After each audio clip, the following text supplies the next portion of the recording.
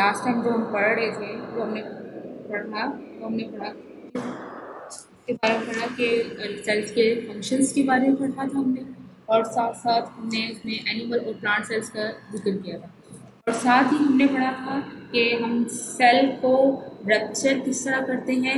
Self fractionation technique के through, जिसमें हमें पार्ट्स हमने डिफरेंट ऑर्गेनाइज को स्टडी करने के लिए सेल को रप्चर किया और सेंटिफिकेशन मेथड के थ्रू और हमने ये भी डिस्कस किया था कि हमारे पास स्लो स्पीड में लार्जर साइज़ ऑफ़ माली लार्जर साइज़ के मालिक्यूल्स आते हैं और फास्ट स्पीड में स्लो फास्ट स्पीड में स्मॉल साइज़ के मालिक्यूल्स हमारे पास या ऑर्गेनाइज हमारे पास या कॉन्स्टिट्यूट हमारे पास फ्लूड में मिल जाते हैं आफ्टर सेंटिफिकेशन अब जो हमारे पास जो ऑर्गेनाइज सेल से मिले हैं, अब हमने उनको फर्दर डिस्कस करेंगे, आगे के जो चैप्टर हम पढ़ते जाएँगे जब।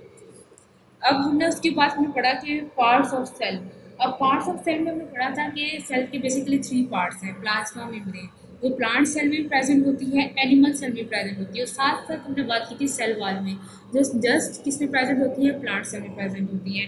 Next cytoplasm cytoplasm animal cell और प्लांट सेल में प्रेजेंट होता है और साथ न्यूक्लियस जिसमें न्यूक्लियर मटेरियल होता है क्रोमोसोम होता है डीएनए होता है, वो सेंटर में प्रेजेंट होती है। थ्री बेसिक पार्ट्स थे जो हमने पढ़े थे प्लाज्मा मेम्ब्रेन साइटोप्लाज्म और न्यूक्लियस नेक्स्ट जो आज का हमारा लेक्चर है, वो बेस कर रहा है टाइप्स ऑफ़ सेल पे।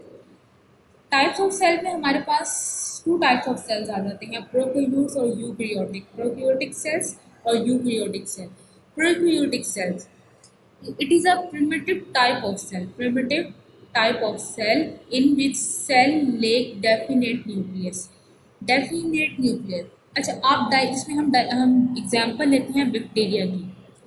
आप ज़रा बैक्टीरिया की डायग्राम देखते हैं. यहाँ पे आपको जेनेटिक मेटी न्यूक्लियस नज़र नहीं आ रहा। हम यहाँ पे क्या देखते हैं कि प्लाज्मा मेम्ब्रेन है। हमारे पास प्लाज्मा मेम्ब्रेन प्रेजेंट है। अगर आप इस स्ट्रक्चर को देख रहे हैं, ये है प्लाज्मा मेम्ब्रेन उसके बाद हमारे पास क्या आती है?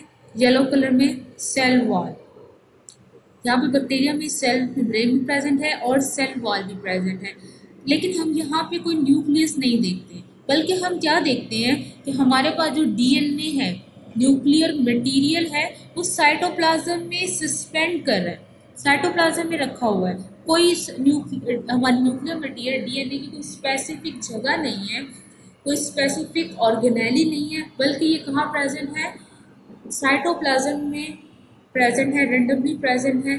तो याद रखें, जो प्रोक्यूटिक सेल होते हैं, उसमें कोई भी डेफिनेट न्यूक्लियस नहीं होता। तो डेफिनेट न्यूक्लियस नहीं होगा तो उसका जो न्यूक्लियस के अंदर क्रोमेटिन मटेरियल होता है डीएनए होता है, वो साइटोप्लाज्म में सस्पेंड कर रहा है। ठीक है? साइटोप्लाज्म में प्रेजेंट है साइटोप्लाज्म में तैर रहे हैं। तो ऐसे सेल्स को हम कहते हैं प्रोक्यूटिक सेल और जिन ऑर्गेनिज्म जिन ऑर्गेनाइज जिन ऑर्गेनिज्म में ये प्रोक्यूटिक सेल्स होते हैं, उन ऑर्गेनिज्म को हम क्या कहते हैं? प्रोक्यूट्स कहते हैं। The organism which contain eukaryotic cell are called prokaryotes. उसमें एग्ज़ाम्पल आ जाएगी बैक्टीरिया की। और एक और बात प्रोक्यूटिक सेल में कोई भी ऑर्गेनेली नहीं प्रेजेंट वो वाली ऑर्गेनेलीज नहीं प्रेजेंट होंगे जिसमें मेम्ब्रेन होंगी। अगर बात की जाए, हम यहाँ पे देखते हैं राइबोसोम्स राइबोसोम में भी मेम्ब्रेन नहीं होती। साइटोप्लाज्म ये तो लिक्विड मटीरियल जिसमें सारे ऑर्गेनेलीज प्रेजेंट है। और हम बात कर लें कि प्लाज्मिड की। प्लाज्मिड भी जेनेटिक मटेरियल और यहाँ पे बैक्टीरिया में कोई भी ऑर्गेनेली प्रेजेंट नहीं है, वो वाला ऑर्गेनेली जो सेल बाउंडेड है, जो मेम्ब्रेन बाउंडेड है, वो वाला ऑर्गेनेली जो मेम्ब्रेन बाउंडेड है आइदर सिंगल मेम्ब्रेन और डबल मेम्ब्रेन बैक्टीरिया सेल में प्रोक्रियोटिक सेल में कोई भी मेम्ब्रेन बाउंडेड ऑर्गेनेली नहीं होती, ठीक है? इसकी, इसमें सिर्फ़ जस्ट एक ही मेम्ब्रेन होती है, जो आउटर प्रेजेंट होती है, जिसे हम प्लाज्मा मेम्ब्रेन कहते हैं, उसके बाहर है सेल वॉल इस जो प्रोक्योटिक सेल है, उसमें एक ही प्लाज्मा मेम्ब्रेन होती है और सेल वॉल होती है और इसके और कोई भी ऑर्गेनेली इसके साइटोप्लाज्म में ऐसा नहीं होता जो मेम्ब्रेन बाउंडेड हो। इसी वजह से यहाँ पे न्यूक्लियस भी नहीं होता क्योंकि nucleus double membrane bounded structure है। और और जो न्यूक्लियस में जेनेटिक मटेरियल होते हैं, वो साइटोप्लाज्म में सस्पेंड कर रहे हैं। और इसकी एग्जांपल प्रोक्योटिक सेल की एग्जांपल हम ले लेते हैं बैक्टीरिया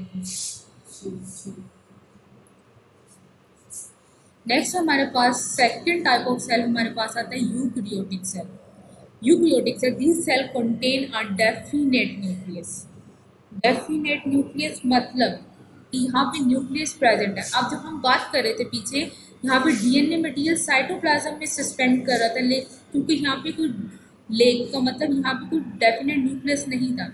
लेकिन जो हमारे पास eukaryotic second type of cell है, यहाँ पे डेफिनेट न्यूक्लियस प्रेजेंट है. अब जो हमारे पास जेनेटिक मटेरियल डीएनए होगा वो हमारी साइटोप्लाज्म में सस्पेंड नहीं कर, कर, कर रहा होगा बल्कि कहाँ प्रेजेंट होगा? डेफिनेट न्यूक्लियस में प्रेजेंट होगा। अब न्यूक्लियर मेम्ब्रेन इज़ प्रेजेंट अब मैंने आपको पहले भी बताया था nucleus double membrane bonded structure है। ये कभी भी membrane bonded organelle prokaryotic cell में नहीं होती। हमेशा कौन सी सेल में होती है? यूकैरियोटिक सेल में होती है। And nuclear membrane and chromatic material is bounded by a membrane कौन सी मेम्ब्रेन न्यूक्लियर मेम्ब्रेन अब जिन ऑर्गेनिज्म में यूक्रियोटिक सेल्स प्रेजेंट होते हैं, उन ऑर्गेनिज्म को हम कहते हैं eukaryote The organism which contain eukaryotic cells are called eukaryotes. और ये यूकैरियोटिक सेल्स हमारे एनिमल और प्लांट ये दोनों ऑर्गेनिजम्स किससे मिलके बने? यूकैरियोटिक सेल से मिलके बने हैं. हमारी बॉडी में ह्यूमन की बॉडी हम एनिमल किंगडम से बिलोंग करते हैं. हमारे सेल्स भी क्या है? यूक्रियोटिक सेल हैं। हमारे सेल में भी डेफिनेट न्यूक्लियस प्रेजेंट है और सारे ऑर्गेनेलिज माइटोकॉन्ड्रिया प्रेजेंट हैं। हमारे हमारे पास क्योंकि माइटोकॉन्ड्रिया में क्या होता है? डबल मेम्ब्रेन प्लांट्स की बॉडी में क्या प्रेजेंट है? क्लोरोप्लास्ट प्लास्टिक्स प्रेजेंट है, वो भी डबल मेम्ब्रेन बॉन्डेड स्ट्रक्चर है। तो जो जहाँ पे डबल मेम्ब्रेन बॉन्डेड स्ट्रक्चर होंगे, वो हमेशा यूक्रियोटिक मेम्ब्रेन बॉन्डेड स्ट्रक्चर हमेशा यूक्रियोटिक सेल में होंगे और प्रोकैरियोटिक सेल में कोई भी मेन बॉन्डेड स्ट्रक्चर नहीं होगा अब हम ये देख लेते हैं एनिमल सेल को। एनिमल सेल को हम क्या कहेंगे? ये है यूक्रियोटिक सेल क्योंकि इसके पास एक डेफिनेट न्यूक्लियस है। अगर आप इस पर्पल डायग्राम में पर्पल शेप पर्पल कलर को देख ये है एक न्यूक्लियस जो पर्पल शेप में पर्पल कलर में है। और न्यूक्लियस के पास क्या होती है? Double membrane nuclear double membrane bounded organelle है। पर्पल में। ठीक है? अब यहाँ पे जो हम देख रहे हैं, ये न्यूक्लियस इंडिकेट फिर हम देख रहे हैं एंडोप्लाज्मिक रेडिकुलम ये endoplasmic reticulum sky blue colour में एक है स्मूथ एंडोप्लाज्मिक रेटिकुलम जिसमें राइबोसोम्स यहाँ पे आप देख रहे हैं, ये बिल्कुल स्मूथ यहाँ पे कोई भी राइबोसोम्स नहीं है। यहाँ रफ एंडोप्लाज्मिक रेटिकुलम यहाँ पे आपको डॉट डॉट फ्लैग स्ट्रक्चर नज़र आ रहे होंगे। ये है साइटो ये है राइबोसोम्स ठीक है? अब एंडोप्लाज्मिक रेटिकुलम भी मेम्ब्रेन बॉन्डेड स्ट्रक्चर है। ये भी सिर्फ़ और सिर्फ़ यूक्रियोटिक सेल में होंगे। अब यहाँ पे आप देखें गोल्जी ऑपरेटस गोल्जी ऑपरेटस में मेम्ब्रेन बॉन्डेड स्ट्रक्चर है। ये भी यूक्रियोटिक सेल में होगा प्रोकैरियोट्स में नहीं होगा। जिसकी वजह से प्रोकैरियोटिक सेल बहुत सिंपल सेल होता है। इसमें क्या होता है? डीएनए सस्पेंड कर रहा है साइटोप्लाज्म में। राइबोसोम जो नॉन मेम्ब्रेन बॉन्डेड स्ट्रक्चर है। आप कहेंगे, मैम, ये भी राइबोसोम में क्या है? मेम्ब्रेन ये भी ऑर्गेनेली है। लेकिन याद रखें राइबोसोम्स नॉन मेम्ब्रेनस ऑर्गेनेली इस राइबोसोम्स में ऑर्गेनेली नहीं मेम्ब्रेन बॉन्डेड नहीं होते, जिसकी वजह से ये प्रोकैरियोट्स में प्रेजेंट होते हैं। यूकैरियोट्स में हमेशा वो ऑर्गेनाइज प्रेजेंट होंगे, वो जो मेम्ब्रेन बाउंडेड है। अगर आप यहाँ देखते हैं माइटोकॉन्ड्रिया माइटोकॉन्ड्रिया भी डबल मेम्ब्रेन बाउंडेड स्ट्रक्चर है। अब साइटोस्केलेटन में माइक्रोटिब्यूल्स इंटरमीडिएट फिलामेंट्स और माइक्रोफिलामेंट्स आते हैं। और फ्लैजेला लाइसोसोम सेंट्रियूल्स पेरोक्सिसोम ये एनिमल सेल है। एनिमल सेल में हमने बात की कौन से प्रेजेंट होते हैं एनिमल सेल्स यूक्रियोटिक सेल से बिलोंग करते हैं। इसमें मोस्टली ऑर्गेनेलिस क्या होते हैं? मेम्ब्रेन बाउंडेड होते हैं। Nucleus double membranous bond structure mitochondria double membrane bond structure है, और जो हमारे पास गोल्जी ऑपरेटस और एंडोप्लाज्मिक रेटिकुलम सेंट्रियूल ये सारे हमारे पास लाइसोसोम हमारे सिंगल मेम्ब्रेन बॉन्डेड स्ट्रक्चर है। होप सो ये सारा आपको क्लियर होगा। नेक्स्ट हमारे पास आता है प्लांट सेल प्लांट सेल भी किससे बिलोंग करता है? यूक्रियोटिक सेल से। तो इसके पास भी क्या होगा कि मिम्ब्रेन बॉन्डेड स्ट्रक्चर होंगे। ये भी एक यूक्रियोटिक सेल है। और याद रखें यूक्रियोटिक सेल हमेशा कॉम्प्लेक्स होते हैं। और जो प्रोक्रियोटिक सेल होते हैं, वो बहुत ही सिंपल होते हैं, क्योंकि उसमें कोई भी membrane bonded complex organelle present नहीं होती। यहाँ पे वैक्यूल सेंट्रल वैक्यूल याद रखें प्लांट सेल में हमेशा एक प्लाज्मा मेम्ब्रेन होती है, प्लाज्मा मेम्ब्रेन जो बेसिक कंपोनेंट है सेल का, और साथ साथ क्या प्रेजेंट होती है? सेल वॉल जो हेल्प करती है प्लांट सेल की शेप को मेंटेन करने में। प्लाज्मा मेम्ब्रेन बाहर सबसे पहले सेल वॉल है, जो क्या करती है? मेंटेन करती है सेल शेप नेक्स्ट हमारे पास आता है प्लाज्मा मेम्ब्रेन वो अंदर की तरफ़ होती है इनर साइड पे होती है। नेक्स्ट हमारे पास प्लांट सेल में सेंटर में न्यूक्लियस की बजाय क्या होता है? सेंट्रल वैक्यूल होता है। इसका क्या फ़ंक्शन होता है? सेंट्रल वैक्यूल का filled with cell sap that maintain pressure against the cell wall. Basically हम बात करते हैं सेंट्रल वैक्यूल की। सेंट्रल वैक्यूल में कोई भी हमारे प्लांट सेल में जो भी एक्सेस कंपोनेंट होते हैं वेस्ट होते हैं, वो कहाँ सारे एंटर हो जाते हैं? वैक्यूल में। जब वैक्यूल में एंटर होता है तो वैक्यूल पे प्रेशर जनरेट होता है। इस वजह से वैक्यूल का साइज़ क्या हो जाता है? इंक्रीज कर जाता है।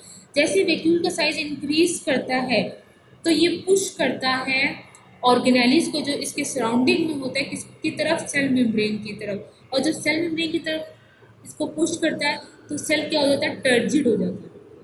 तनाव तनाव में जिसको हम कहते हैं तनाव में। यहाँ पे सेल टर्जिड हो जाता है, लेकिन सेल रप्चर नहीं होगा क्योंकि इसके बाहर क्या है? सेल वॉल जो उसकी सेल सेल शेप को क्या करेगी? मेंटेन करेगी।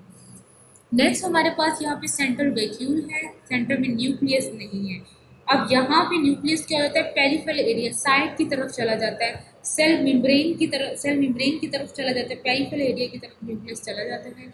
और उसके बाद यहाँ पे न्यूक्लियस का आपको पता है, इसमें न्यूक्लियर मटेरियल होगा क्रोमोसोम डीएनए प्रेजेंट होगा और इसके बाहर एनिमल सेल की ही तरह, जैसे एनिमल सेल में न्यूक्लियस सेंटर में था, उसके बाहर एंडोप्लाज्मिक रेटिकुलम जो स्मूथ और रफ एंडोप्लाज्मिक रेटिकुलम इसी तरह न्यूक्लियस प्लांट न्यूक्लियस में भी रफ एंडोप्लाज्मिक रेटिकुलम होंगे और smooth endoplasmic reticulum smooth endoplasmic column में? कोई भी राइबोसोम्स प्रेजेंट नहीं होगा, जिसकी वजह से उसकी सरफेस क्या होती है एंडोप्लाज्मिक रेटिकुलम की। स्मूथ होती है और जो रफ है, उसमें राइबोसोम्स प्रेजेंट होते हैं, जिसकी वजह से उसकी सरफेस क्या हो जाती है? रफ हो जाती है राइबोसोम्स की प्रेजेंस की वजह से। नेक्स्ट यहाँ पर भी प्लांट सेल में भी गोल्जी ऑपरेटर्स हैं। गोल्जी ऑपरेटर्स प्रेजेंट हैं, ये भी मैंने आपको बताया था पहले बता चुकी हूँ सिंगल मेम्ब्रेन बॉन्डेड स्ट्रक्चर है। एंडोप्लाज्मिक रेटिकुलम भी सिंगल मेम्ब्रेन बॉन्डेड स्ट्रक्चर है, mitochondria double membrane bonded structure है, plastids store pigment chloroplast chloroplast भी डबल मेम्ब्रेन बॉन्डेड स्ट्रक्चर है, साइटोप्लाज्म, साइटोस्केलेटन साइटोस्केलेटन का बेसिकली फ़ंक्शन क्या होता है? ये सेल की शेप को, अंदर से सेल की शेप को मेंटेन करने में हेल्प करता है। जैसे ह्यूमन की बॉडी में स्केलेटन होता है, उसका एक पोस्चर मेंटेन करता है, एक शेप मेंटेन करता है, इसी तरह साइटोप्लाज्म में साइटोस्केलेटन होता है, वो भी सेल की शेप मेंटेन करने में हेल्प करता है। नेक्स्ट यहाँ पे अब देखने हैं प्लाज्मो plasmodesmata plasmodesmata basically channels होते हैं, जो सेल वॉल और सेल ब्रेन में प्रेजेंट होते हैं प्लाज्मो plasmodesmata channels contact to plant cell जहाँ पे हम अब मूव कर रहे हैं कंपेयर प्लांट सेल और एनिमल सेल दोनों कौन से सेल हैं? यूक्रियोटिक सेल हैं। आउटर प्लाज्मा मेम्ब्रेन दोनों सेल्स में प्रेजेंट है। प्लांट सेल में भी और एनिमल सेल में लेकिन प्लांट सेल में एक एडिशनल एक एडिशनल वॉल होती है, जिसको हम क्या कहते हैं? सेल वॉल जो एनिमल सेल में नहीं प्रेजेंट होती। यूक्रियोटिक सेल में, अब मैं वही बात करने लगी यूक्रियोटिक सेल में ऑर्गेनेलिस प्रेजेंट है और उन ऑर्गेनेलिस कुछ ऑर्गेनेलिस ऐसे हैं जो मेम्ब्रेन बॉन्डेड हैं। किसी के पास सिंगल मेम्ब्रेन है और किसी ऑर्गेनेलिस के पास डबल मेम्ब्रेन है। लेकिन जो हम प्रोक्रियोटिक सेल की बात करते हैं, यहाँ पे कोई भी ऑर्गेनेली नहीं प्रेजेंट जो मेम्ब्रेन बॉन्डेड हो। यहाँ पे जेनेटिक मटेरियल भी यहाँ पे न्यूक्लियस भी नहीं है और जेनेटिक मटेरियल साइटोप्लाज्म में सस्पेंड कर रहा है। ये सिंपल स्ट्रक्चर होता है। यहाँ पे एक ही मेम्ब्रेन होती है जिसे हम कहते हैं प्लाज्मा मेम्ब्रेन जो सबसे आउटर मोस्ट बाउंड्री बनाती है। अब हम मूव करते हैं कंपैरिजन की तरफ़। हमने कंपैरिजन में किसका कंपैरिजन पढ़ना है? प्लांट और एनिमल सेल का। प्लांट और एनिमल सेल के कंपैरिजन में हम कुछ सिमिलर स्ट्रक्चर्स देखते हैं।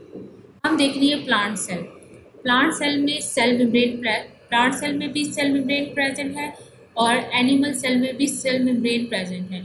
सेल मेम्ब्रेन में आपको दोबारा ही बता रही हूँ कि सेल मेम्ब्रेन सबसे आउटर मोस्ट मेम्ब्रेन है। आउटर मोस्ट मेम्ब्रेन है, जिसके अंदर सारे के सारे ऑर्गेनेलीज प्रेजेंट होंगे।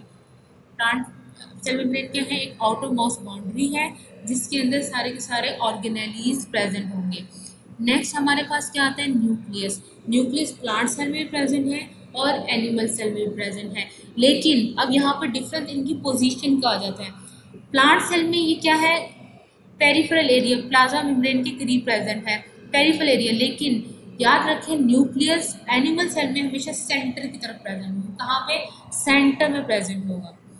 जैसे हम पीछे बात कर चुके हैं सेंटर में प्रेजेंट है न्यूक्लियस और यहाँ पे बिल्कुल पेरिफेरल एरिया क्योंकि यहाँ पे लार्ज वैक्यूल है और एनिमल में लार्ज वैक्यूल नहीं होता यहाँ पर वैक्यूल स्मॉल साइज़ के होते हैं, ये वैक्यूल क्या होते हैं? स्मॉल साइज़ के होते हैं।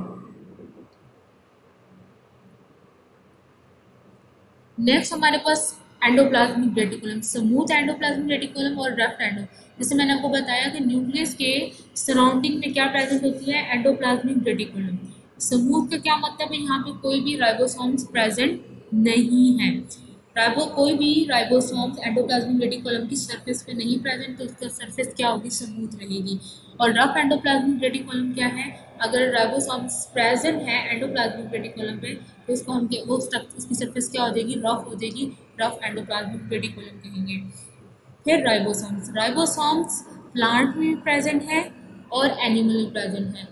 और अगर आपको ये स्ट्रक्चर व्हाइट कलर का नज़र आ रहा है तो हम ये देख रहे हैं, कुछ राइबोसोम्स अटैच हैं एंडोप्लाज्मिक रेटिकुलम के साथ तो मिलके क्या बना रहे हैं रफ एंडोप्लाज्मिक रेटिकुलम और कुछ साइटोप्लाज्म में ऐसे सस्पेंडेड फॉर्म में है। तो ऐसे राइबोसोम्स जो साइटोप्लाज्म में सस्पेंडेड फ्रीली मूव कर रहे होते हैं तो हम इसको फ्री राइबोसोम्स कहते हैं, और जो एंडोप्लाज्मिक रेटिकुलम के साथ होते हैं तो हम इन्हें कहते हैं बाउंडेड राइबोसोम्स ठीक है? वो आगे हम फर्दर पढ़ेंगे तो इन दोनों राइबोसोम्स के फ़ंक्शन भी डिफरेंट हैं। फ्री और बाउंडेड राइबोसोम्स के। अब नेक्स्ट है हमारे पास वैक्यूल वैक्यूल प्लांट सेल में प्रेजेंट है एनिमल सेल में भी, लेकिन यहाँ पर डिफरेंस किस बात का आता है कि प्लांट सेल में वैक्यूल का साइज़ लार्ज है। Large size of large size का वैक्यूल है। लेकिन जो हमारे पास एनिमल सेल है, यहाँ पे स्मॉल साइज़ का वैक्यूल है। जहाँ पे स्टोरेज होती है वेस्ट की और एक्सेस कंपाउंड्स की। नेक्स्ट हमारे पास आ जाता है माइटोकॉन्ड्रिया माइटोकॉन्ड्रिया का बेसिकली फ़ंक्शन क्या होता है ये? हमारे पास सेंट्रल स्टेशन है जहाँ पे एनर्जी सिंथेसाइज होती है। एनर्जी सिंथेसाइज होती है powerhouse of the cell कहते हैं माइटोकॉन्ड्रिया क्या कहते हैं? Powerhouse of the cell जहाँ पे एटीपी सिंथेसाइज होती है थ्रू सेलुलर रिस्पायरेशन तो ये प्लांट सेल में प्रेजेंट है और एनिमल सेल में प्रेजेंट है। Golgi apparatus Golgi apparatus plant cell में प्रेजेंट है और एनिमल सेल में, ये हमने बेसिकली बात की सिमिलैरिटीज़ की। इसकी बात की सिमिलैरिटीज़ की। सिमिलैरिटीज़ में जो हमने ऑर्गेनेलिज डिस्कस किए, उसमें हमारे पास सिमिलैरिटीज में सेल मेम्ब्रेन न्यूक्लियस न्यूक्लियोलस ये न्यूक्लियोलस स्टूडेंट्स ये होता है न्यूक्लियस के अंदर डार्क पोर्शन होता है जिसे हम कहते हैं न्यूक्लियोलस हमारे पास सिमिलैरिटीज प्लांट और एनिमल सेल में cell membrane nucleus nucleolus smooth endoplasmic reticulum rough endoplasmic reticulum ribosomes vacuole mitochondria और गोल्जी ऑपरेटर्स आते हैं। ये सारे ऑर्गेनाइज प्लांट और एनिमल सेल में कॉमन है। अब जो डिफरेंट हैं, वो हमारे पास आते हैं क्लोरोप्लास्ट प्लांट सेल में क्लोरोप्लास्ट होता है। क्लोरोप्लास्ट ग्रीन पिगमेंट आपको पता है ये लीफ में लीफ में प्रेजेंट होता है। क्योंकि क्लोरोप्लास्ट का बेसिकली फ़ंक्शन क्या होता है? ये गैदर करता है सनलाइट को और फोटोसिंथेसिस करता है और प्लांट के लिए फ़ूड सिंथेसाइज करता है। तो ये सिर्फ़ प्लांट में होता है क्योंकि प्लांट क्या है? ऑटोट्रॉफ अपनी फ़ूड को सिंथेसाइज करते हैं। लेकिन एनिमल अपनी फ़ूड को सिंथेसाइज नहीं करते, बल्कि वो प्लांट से ये एनिमल से अपनी फ़ूड इनटेक करते हैं, जिसकी से एनिमल क्या होते हैं? हेट्रोट्रॉफ होते हैं। तो यहाँ पे एनिमल की बॉडी अपनी फ़ूड को सिंथेसाइज नहीं करती तो यहाँ पे क्लोरोप्लास्ट नहीं है। क्लोरोप्लास्ट जस्ट किसमें प्रेजेंट है? प्लांट सेल में। सेल वॉल सेल वॉल भी सिर्फ़ जस्ट किसमें प्रेजेंट होती है? प्लांट में होती है। क्योंकि जब जैसे ही वैक्यूल का साइज़ इंक्रीज होता है तो वैक्यूल का साइज़ इंक्रीज होने से तो प्रेशर जनरेट होता है। ये ऑर्गेनाइज सेल मेम्ब्रेन की तरफ़ पुश होते हैं। और जैसे ही सेल मेम्ब्रेन की तरफ़ पुश होते हैं तो सेल मेम्ब्रेन के सेल मेम्ब्रेन रप्चर ना हो जाए, उसके लिए प्रेजेंट होती है सेल वॉल प्लाज्मोडेस्मेटा प्लाज्मोडेस्मेटा एक चैनल्स होते हैं और चैनल्स हमें हेल्प प्लांट एक प्लांट का लिंक दूसरे एक प्लांट सेल का लिंक दूसरे प्लांट सेल के के साथ करते हैं। नेक्स्ट हमारे पास अगर हम बात करें एनिमल सेल में। एनिमल सेल में सेंट्यूल्स होते हैं लाइसोसोम्स होते हैं और सेंट्रोसोम्स होते हैं। यहाँ पे सेंट्यूल का फ़ंक्शन बेसिकली सेल डिवीज़न में होता है। जब एक सेल दो सेल में डिवाइड होता है तो यहाँ पे ये सेंट्यूल हेल्प करते हैं डिवीज़न में। लाइसोसोम लाइसोसोम भी हमारे पास उसके डिफरेंट फ़ंक्शन को हम आगे चैप्टर पढ़ते रहेंगे। हम उसको क्लियर करते जाएँगे बेसिकली लाइसोसोम का डिफरेंट फ़ंक्शन में इन्वॉल्व होता है। ये हमारे फॉरेन पार्टिकल को इंगल्फ करता है। ये हमारे बेसिकली इम्यूनिटी में इन्वॉल्व होता है। जो बैक्टीरिया और वायरस बॉडी में एंटर हो जाते हैं तो उनको किल करने में हेल्प करते हैं। या फिर सेल में की सेल में जो वेस्ट प्रोडक्ट होता है, उसको भी ये डिस्ट्रॉय करता है, ख़त्म करता है और उसको स्मॉल पार्टिकल में कन्वर्ट करता है। ये बेसिकली आज का हमारा टॉपिक था। टाइप्स ऑफ़ सेल यूक्रियोटिक और प्रोकोयोटिक सेल्स और फर्दर हमने क्या कंपैरिजन पढ़ा? प्लांट और एनिमल सेल प्लांट और एनिमल सेल दोनों यूक्रियोटिक सेल हैं और फर्दर हमने इनके ऑर्गेनाइज के हमने ओवरव्यू लिया। यह आज हमारा, आज का लेक्चर था। थैंक्स